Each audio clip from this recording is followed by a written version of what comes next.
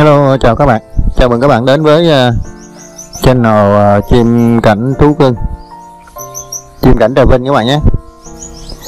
Uh, Video này uh, giới thiệu chia sẻ với các bạn bốn uh, con chim uh, mái các bạn nhé Ở trước màn hình các bạn uh, ở phía trong nó hơi tối một chút cho nên các bạn nhìn uh, thông cảm tí nhé. Uh, Có bốn con chim mái này.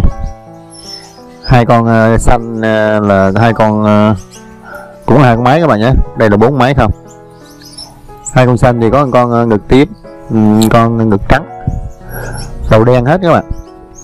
À, hai con vàng thì con ngực trắng đầu trắng. À, một con ngực tím đầu xám. Bốn con máy. Này là mình giữ máy hay nhiều?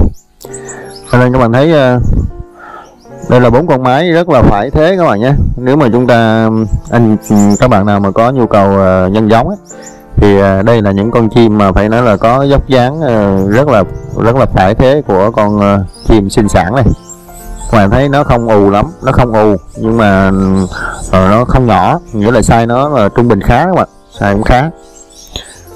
Ờ, nó dài chim rất là dài đòn. Mà các bạn chú ý là con chim mái mà dài đòn thế thì cái khả năng sinh sản của nụ con nó rất tốt. Cả bốn con đều thế cả còn à, hai con vàng thì các bạn thấy à, con ngực à, trắng đầu trắng rất là đẹp. Và con à, mái à, đầu xám ngực à, tím cũng như vậy.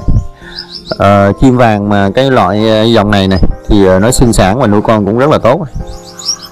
À, mình à, kinh nghiệm mình thấy là những con chim mái vàng ở trại mình ở đây là nó ngực tím đầu xám hoặc là đầu xám ngực trắng như thế này này thì à, cái khả năng sinh sản và nuôi con chăm con nó rất là tốt. Hai con chim mái xanh rất đẹp các bạn.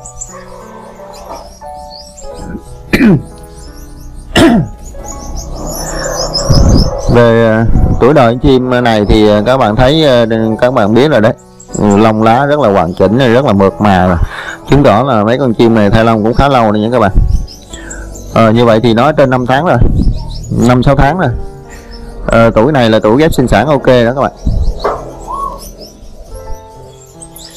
À, các bạn nào có nhu cầu thì cứ liên hệ mình qua Zalo số 0372 545677 các bạn nhé. À, tuổi này thì về mình cho ăn tăng lượng đạm lên tăng lượng đạm lên chút. Nói chung là mình cung cấp thêm cái dinh dưỡng cho nó một chút thì à, thời gian à, sinh sản của nó là sắp tới rồi này thì uh, tháng tháng ngoài thì nói chung là vài tháng trở lại là nó sinh sản này các bạn. Thì lông lá nó hoàn chỉnh hết rồi. Rồi chắc có lẽ là clip này uh, chia sẻ và giới thiệu với các bạn bốn con chim mái thế thôi. Hai vàng hai xanh và đều khác nhau cả. Ngực trắng uh, ngực tím xanh uh, ngực tím ngực trắng vàng. Các bạn có nhu cầu thì cứ liên hệ cứ alo với mình nhé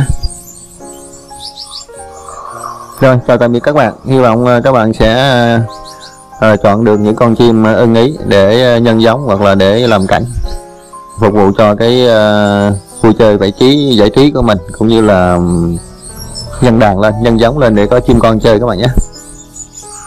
Tạm biệt các bạn. Hẹn gặp lại các bạn ở video tiếp theo. Bye bye.